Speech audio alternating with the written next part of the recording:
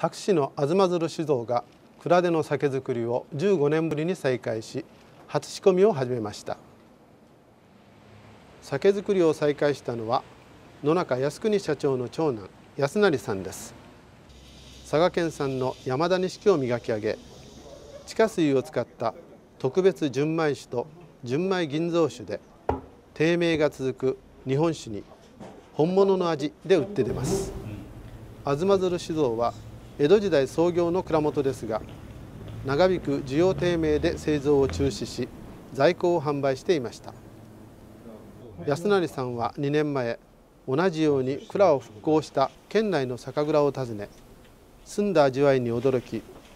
本物の酒ならまだ可能性があると確信しました。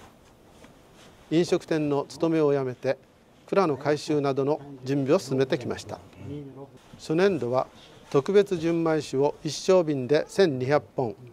純米銀蔵酒570本を製造し初出荷は3月中旬を予定しています。